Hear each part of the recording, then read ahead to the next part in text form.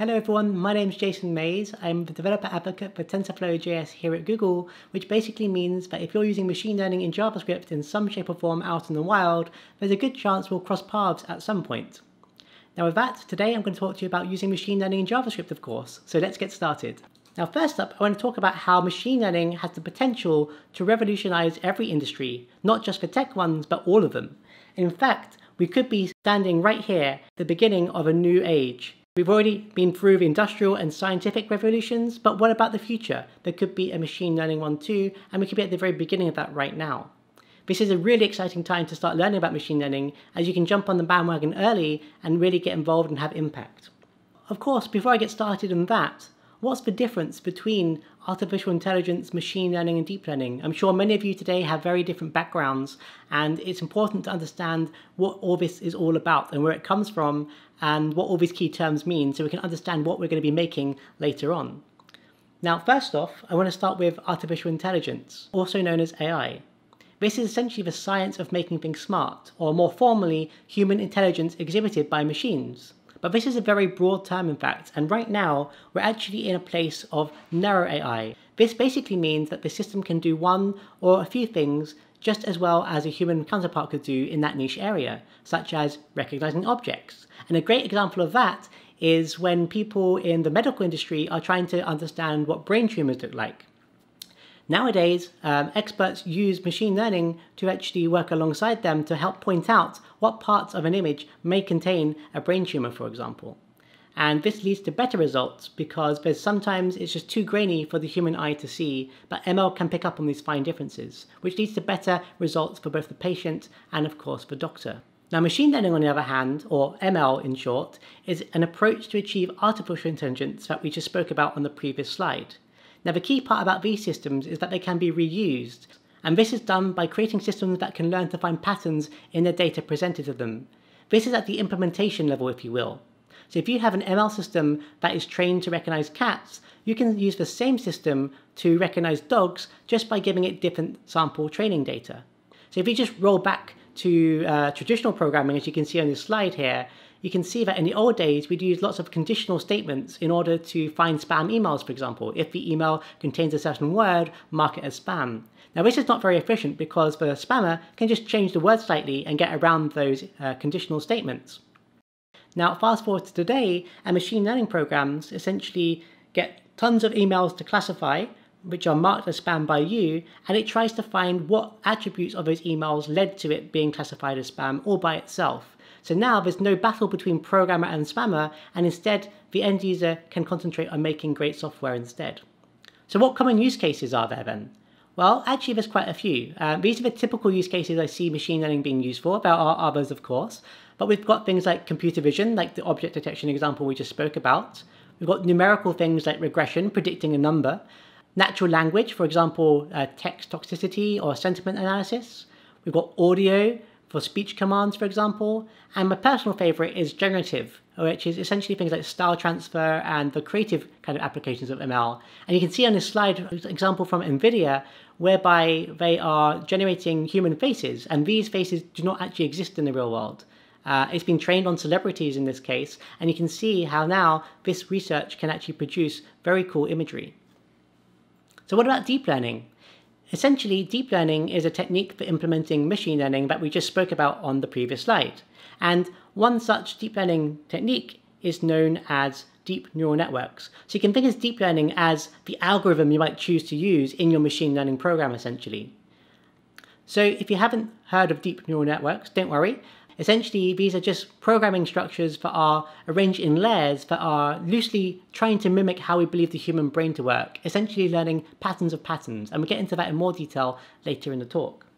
So in summary here, you can see how all these terms are actually interlinked. We have the deep learning that feeds into the machine learning, so the algorithm that goes into the implementation, and that machine learning gives us this grand illusion of artificial intelligence, which is what we're trying to aim for longer term.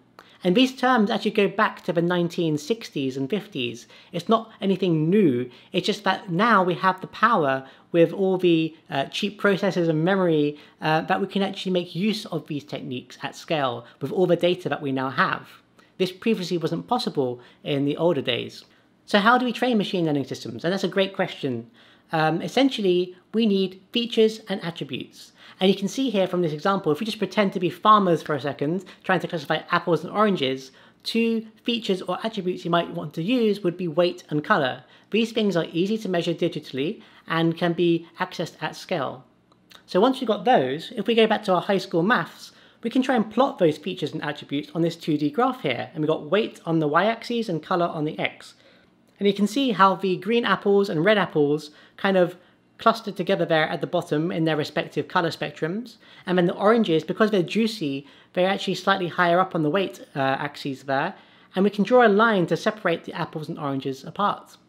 And in a way, this is actually a very naive form of machine learning if we could get a computer to figure out the equation of that line. Because if we now classify a new piece of fruit, we take its weight and its color, and we plot it on this graph, if it falls above the line, we can say with some level of confidence that that piece of fruit is an orange. And if it falls below the line, we can assume it's probably an apple. And that's kind of what is going on in all of these systems. The machine learning is essentially just trying to figure out the best way to separate the data so that it can classify it later on. What about bad features and attributes? It's not always obvious what you should choose here, and here is a great example, ripeness and number of seeds. This could lead to a scatter plot as you see on the chart right now. And there's no easy way to separate this data with a straight line, or even a curved line for that matter. And this is a good example of a bad choice of features and attributes. And you might be like, well, why, Jason, would you choose such things? And it's not always as simple as apples and oranges. Imagine those brain tumors we were talking about earlier on. What features and attributes would you use to be able to distinguish uh, a positive from a negative result in that case? It gets very hard very quickly, and this is known as feature engineering to find the set of features and attributes that give you the best separation in data, and that's what folk get paid a lot of money to figure out properly. But what about higher dimensions? In our simple example, we had just two dimensions. Let's assume we had three. In that case, we'd need to plot it on a three-dimensional graph, as you can see on the right-hand side. And here, we instead of using a line, we need a plane, or a rectangle in 3D space, if you will, to be able to separate the data in a meaningful way. Now, it's actually interesting to note that most machine learning problems are actually using much higher dimensions than three. Now, unfortunately, our human brains just can't comprehend uh, what that looks like, but you have to trust me that the maths is actually the same. And instead of using a plane, you're using something called a hyperplane. And that just means it's one dimension less than the number of dimensions that you're working with. But the math works out the same, and you're just using this high dimensional space and dividing it up in much the same way. So it should be easy, right? We've got a dog, we've got a mop. What could possibly go wrong? Well, some dogs look like mops and vice versa. And my point for bringing this up is that you've got to be aware of the bias in your training data. One of the biggest challenges you'll face is not finding enough training data that is unbiased for the situations you want to use it in. So in the case of recognizing a cat, something as simple as a cat, you might need to have 10,000 images of cats of different breeds, different stages of a life cycle, different shapes, sizes, in different environments, different lighting conditions, taken on different cameras. All this is required to have the best chance of understanding what cat pixels actually are. And without that, you may end up having biases in your machine learning model, which would be very bad. The other point to note here is that data is not always imagery. It could be tables of data uh, with text or sensor recordings, sound samples, and pretty much anything else you can think of. As long as it can be represented numerically, we can use it in an ML system. So that brings us, of course, to JavaScript. Why would we want to do machine learning in JavaScript? And that is a great question too. In fact, JavaScript can run pretty much everywhere, in the web browser, on the server side, desktop, mobile, and even Internet of Things. And if we dive into each one of those, you can see many of the technologies that you already know and love. On the left-hand side there, we have popular web browsers you might use. On server side, we have Node.js. For mobile, we can support React Native, and also other things like WeChat and progressive web apps, of course. And for desktop, Electron can be used to write native desktop applications, and of course Raspberry Pi for Internet of Things. And JavaScript is the only language that can be used across all of these devices with ease without any extra add-ons and plugins. And that is a very unique point about JavaScript on its own, which I'm sure you're already aware of. And of course, with TensorFlow.js, you can run, you can retrain via transfer learning, and you can write your machine learning models completely from scratch if you so desire, just like you could do in Python if you're familiar with machine learning in Python. And that allows you to basically dream up anything you might want, from augmented reality, uh, gesture, sound recognition, conversational AI, whatever it might be, you can do that in JavaScript now as well, giving you superpowers in the browser and beyond. So there's three ways you can talk about using machine learning in JavaScript, and I'm going to go through all of those now. The first one is pre-trained models. These are essentially really easy to use JavaScript classes for common use cases. And you can see we have many of these already, from object detection, body segmentation, which allows you to find where the body is in an image, pose estimation to detect the skeleton, and uh, we've got speech commands and much, much more. In fact, some of our newer models on the right-hand side there, you can see we now support face mesh, which can recognize 468 landmarks on the human face. We've got hand pose that can detect similar things for your hand, and also the BERT Q&A model that allows you to do question answer based natural language processing all in the web browser. So let's see some of these in action and see how they perform. So first up, I want to talk about object recognition. This is using Coco SSD, which is the name of the machine learning model that we're uh, using to power this, and that has been trained on 90 object classes, such as these dogs on the right hand side. So 90 common objects can be recognized out of the box. Now what's important is that you can see that this also gives back the bounding box data, which allows you to localize it in the image. And that's why we call this object recognition instead of image recognition. Image recognition is where you know that the thing exists, but you don't know where it is. So this is a pretty cool one to start with. I'm going to show you how we can write code to make this actually work ourselves. So let's dive into the code now. So first up, let's look at the HTML. This is pretty boilerplate stuff. We're simply going to import a style sheet there, style.css, and then in our main body, we're going to have a demo section that initially is going to be invisible. So you can see class invisible is set at the very beginning there. And then we have some images that we want to be able to classify on click. So these all have the class classify on click and an image contained within that containing div. Now these can be any images you want. And then at the end there, you can see we simply have three script imports. Uh, the first one is essentially bringing in the TensorFlow.js uh, bundle. The second one is bringing in the Coco SSD machine learning model. And the third one is, of course, the JavaScript we're going to write to get all of this working. So looking at the first lines of the JavaScript, first of all, we're just going to define a constant called demos section, and that's just going to get a reference to the demo area where all of our images are living. We're then going to set a variable model has loaded and set it to false, and also uh, define a variable for the model to store that once it has loaded. Next, we need to load the model, of course. So all we need to do is call cocossd.load, and because this is an async function, we use the then method to call back a anonymous function in this case with the results. And you can see that anonymous function simply takes the loaded model as a parameter, and we can then assign that to our more global variable uh, called model, and we can set model has loaded to true, so we know that things are ready to use. Finally, we remove the invisible class from our demo section to make sure it's now visible and not grayed out like it was before. So next we get a reference to the image containers, i.e. all the divs that had that classify on click class. We can then loop through all of those and essentially add a click handler to each so that we can decide what to do when each image within it is clicked. And here we go, here's the handle click definition. Uh, we simply check if the model has loaded. If it hasn't, we're going to return straight away because there's no point doing anything unless the model is available to use. And if it is available to use, we're going to essentially call model.detect and we're going to pass it the image that was clicked, so the event target in this case. And then again, this is an async operation, so we use the then to then call our uh, other function handle predictions once it's ready. And in handle predictions, you can see we now pass a predictions object that simply we can log if we wish to kind of inspect as we so desire. But essentially this contains all the uh, machine learning predictions that came back for that single image that we tried to classify. So we can loop through those predictions and we can create a new paragraph element for each and set what we what we saw along with its confidence. And then we can also set the margin of this paragraph so it sits nicely at the bottom of the bounding box. And then of course this thing called highlighter is essentially the bounding box that I've uh, created and we're just setting the x, y, width and height coordinates of that uh, element so that it sits in the right place in the context of its parent div. And then of course we just add these two elements to the DOM and that should now be visible. Then finally, the CSS is pretty self-explanatory for various moments when we're changing the GUI. So if we put it all together, this is what we get. So as you can see, um, this is the code running, and I can now click on one of these images, and you can see instantly I get results coming back with the bounding boxes showing the items that is found in each image. I've actually added a little extra bit of code here to do the same thing but with the webcam. And if I enable this, you can see that I can now see myself too. And notice how the performance is pretty cool. It's running at a high frames per second and um, all of this is running live in the web browser which means of course that your privacy is also preserved because this data is not being sent to a server for classification.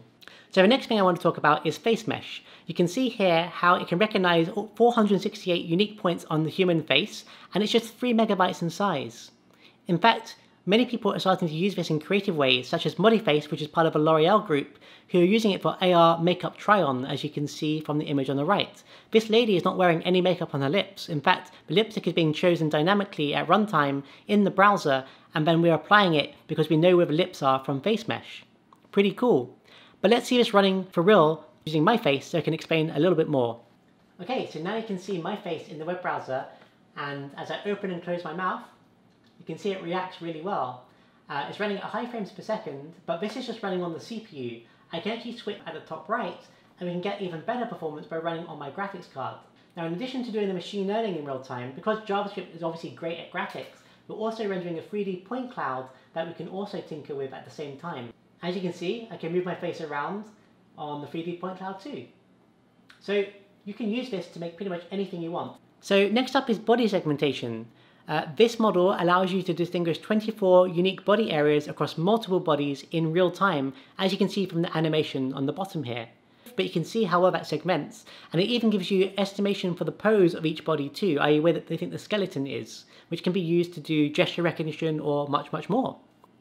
Now models such as body BodyPix can be used in really delightful ways too. Here's two examples that I created in just a couple of days that allow you to do some powerful things. On the left hand side you can see how I remove myself from the webcam in real time, rendering myself invisible, much like a Harry Potter cloak or something like this. And as I get on the bed, you can see how the bed still deforms even though I'm removed from the cam feed in real time. Now on the right hand side, you can see another demo created that allows me to measure my body size in real time. Now I don't know about you, whenever I'm buying clothes, I never know what size I am. So I made this to help me out to find my size for different brands on the websites that I use. And in under 15 seconds, I can get a result back for my chest measurements, my inside leg, and all that kind of fun stuff uh, in a much more frictionless way. And of course, all of this runs in the web browser, so my privacy is preserved. None of these images are going to a server. And of course, all this can give you superpowers too. What if you combine TensorFlow.js with something like WebGL shaders? In that case, you can get an effect like this, which is made by one of the guys in our community in the USA, which can shoot lasers from your mouth and eyes, all in real time, at a buttery smooth 60 frames per second. But let's not stop there. If we combine it with WebXR, a, a very emerging uh, web standard, you can now even project people from magazines into your room in real time too. And this guy is using this on his phone, and then he can walk up to the person and, and kind of meet them in real life, uh, virtually speaking. Um, so that's pretty cool. And I thought, well, if I can do this, then why not go one step further and combine it with WebRTC to, to teleport myself in real time. And you can see here how I can project myself from my bedroom into another living space, it could be somewhere else in the world, to meet my friends and family, such that I can be closer to them even when I'm not. And having tried this myself, it actually does feel better than a regular video call because you can walk up to the person and move around them and all this kind of stuff, which you just don't get with a regular video call. Now the next way you can use TensorFlow.js is via transfer learning. This is where you retrain existing models to work with your own data, and this is the next logical step after using our pre-trained models to make things more customized to your needs. Now if you are an ML expert, you can of course code all this stuff yourself, but I want to show you two ways today on how to do this in a super simple fashion. Now the first one is Teachable Machine. This is a website created by Google that allows you to retrain data in the web browser uh, for very common tasks like recognizing an object or speech recognition or pose estimation, for example. And in just a few clicks, you can make your own ML model. So let's try this out right now and see how easy it is to use for something like a prototype. So here's Teachable Machine. we can click on image project to start and I can click on webcam and you can see now that I'm just going to take a few samples of my head in front of the webcam. And then I'm going to do the same thing for class 2. And we take a similar number of samples, but this time I'm going to use this deck of cards.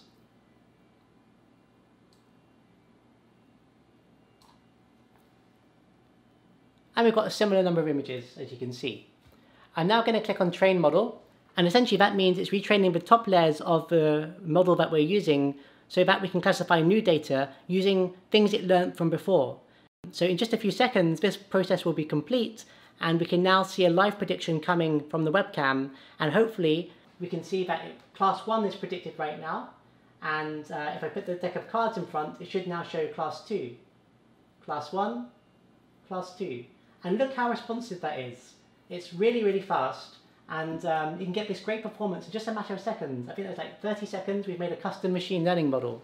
So do try that out in your spare time. And uh, you can use this in prototypes. So you can simply click on export model at the top right there, and you can save the JSON files that you need to then load this model on your own custom website later on to do something more useful. So maybe I can show a deck of cards and reveal a YouTube video or whatever I want to do. Uh, now the next method I want to show you is if you want to do something more for production use case, which is more than just a prototype. You might have a lot more data.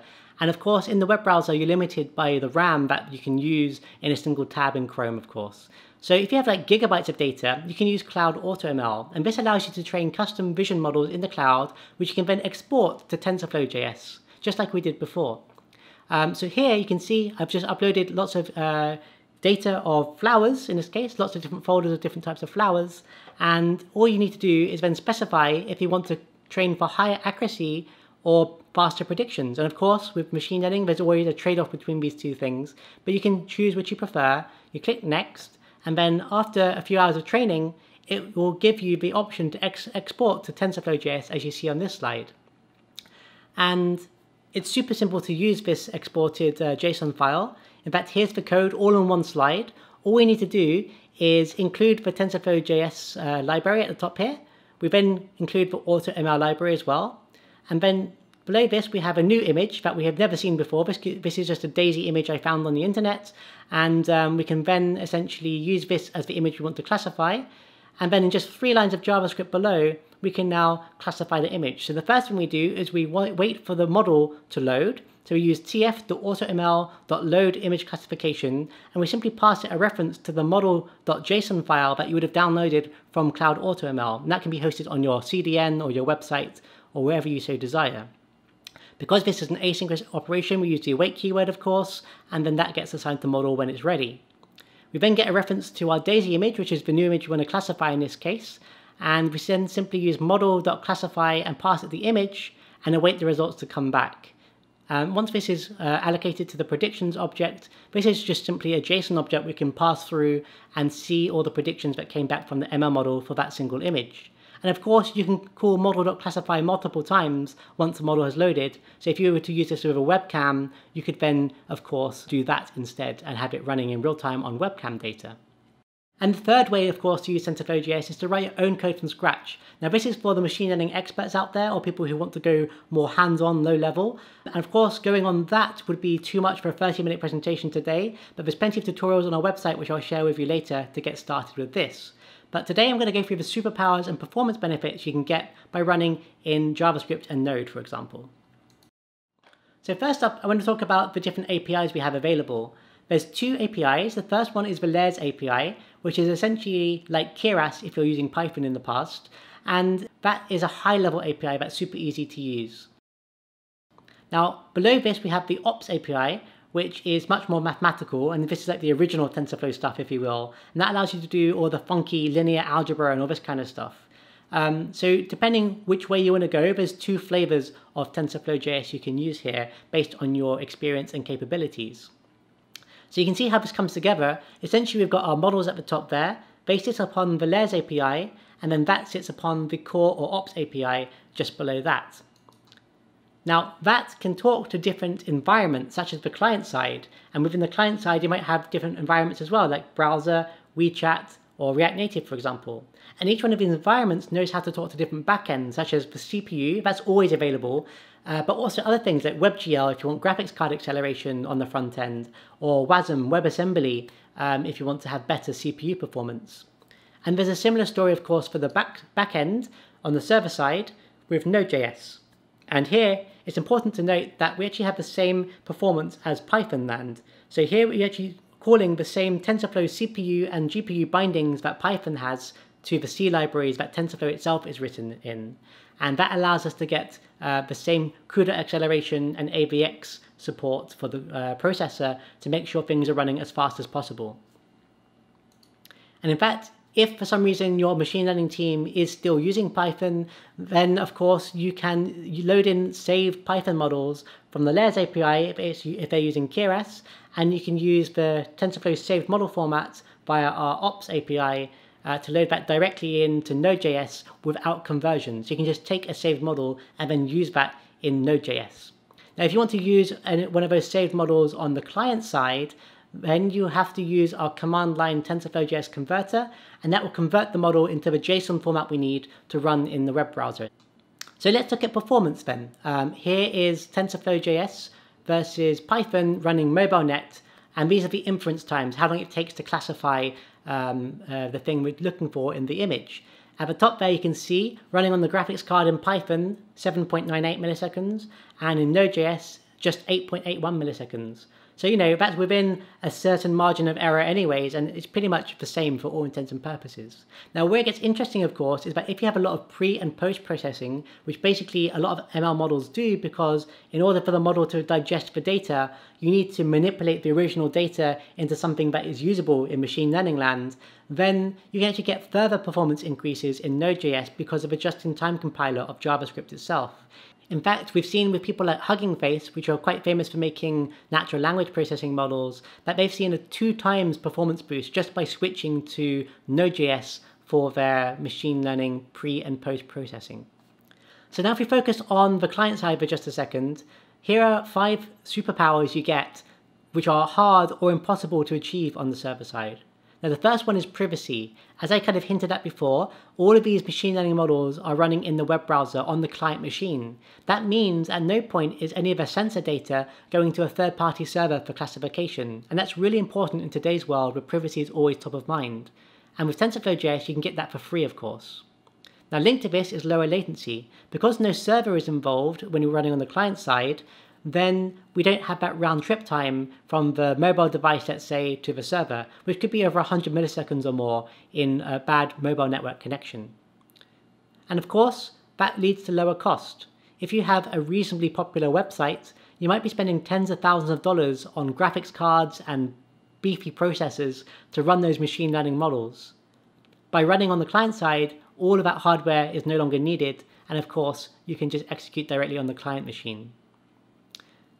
As you all know, interactivity is a big thing for JavaScript. It's kind of been designed for that from day one. So we have a much richer ecosystem for um, graphics and uh, charting and all that kind of fun stuff.